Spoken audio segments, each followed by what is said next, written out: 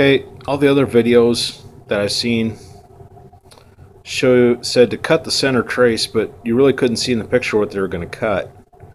To cut the center trace, it'll go from a four phase to a two phase, and the red wire will no longer be used. So the pink and the blue will be a pair, and the yellow and the orange will be a pair. So I'm going to cut that center trace out, and we will make this a two phase.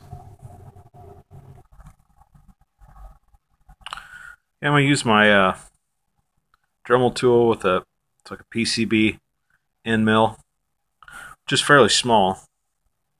You can see it should cut it out fairly nicely. So I don't have three hands, so I'm going to have to pause it here.